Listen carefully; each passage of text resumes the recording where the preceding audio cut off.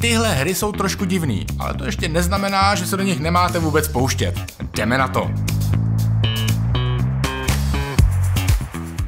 Představte si, že jste chleba. Ležíte si jen tak v kuchyni rozřízlý na krajíc a pak si vysníte, že se doplazíte do toustovače.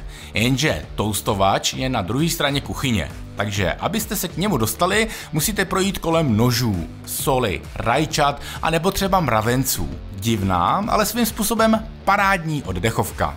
Další hra není možná tak moc divná, ale No, jedná se o titul z českých luhů a hájů a hrajete za běžce, který se vyhýbá překážkám a sbírá po cestě pivka. No a to je vlastně všechno. Jo a ještě, ještě jedna věc. Pokud rádi sbíráte trofeje a chcete třeba i platinu, tak z téhle hry vám padne opravdu jednoduše. Stačí prostě běžet. Pokud milujete kozy, ano, tyhle kozy, tak už zapínejte Goat Simulator. Těžko říct, proč tahle hra vznikla. Každopádně, pokud si chcete odpočinout od náročných titulů a vyblbnout se, tohle je to správné hřiště. Skákejte na trampolíně, leste po žebřících, anebo prostě jenom šikanujte své okolí. Bé. Objevte se na operačním sále a zachraňujte životy. I když to jsou možná silný slova. Tak jinak, vezměte do ruky skalpel a hrabejte se v pacientovi ve snaze se u toho bavit. A ono to možná i zábavné bude. Kor, když přizvete ke hraní svého kamaráda. Tak co za operaci nás čeká dneska? Hrajte ve dvojici a ovládejte postavy, které jsou spojené v pase. Cílem je udržet míč na své straně a porazit tak stranu druhou, což vyžaduje perfektní kooperaci. Takže žádné hádky, prostě se sehrajte a pak se pekelně soustřeďte. Pozor, ke hraní ve dvou vám postačí i jen jeden ovladač, což je super. Trials Fusion je klasická motokrosová hra, ve které děláte tričky na různých tratích. Jenže tenhle balíček z ní dělá totální bláznivost. Můžete se totiž stát třeba kočkou, která závodí na jednorožci běžícím po obří kouli, kutálející se přes lávu. Já do toho jdu.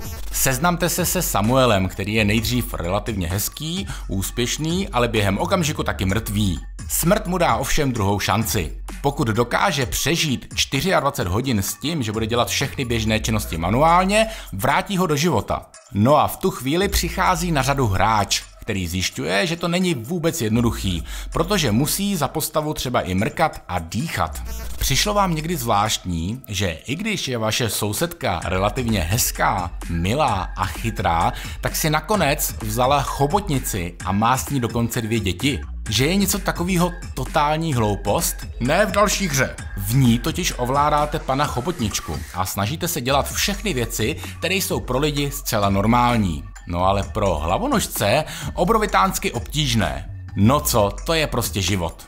Oproti Octodedovi vám bude připadat Guts and Glory jako slabý odvar, i když o hře vývojáři hovoří jako o nejbláznivější na celém světě. Přitom je to tak jednoduchý, stačí dojet do cíle. Jenže po cestě se musíte vyhýbat otáčejícím se pilovým kotoučům, smrtícím hrotům, výbušninám, věžím, stromům i dalšímu nebezpečí. Tohle vás bude štvát i bavit zároveň. V posledním titulu hrajete za kostku masa, která se snaží dostat ke svý snoubence.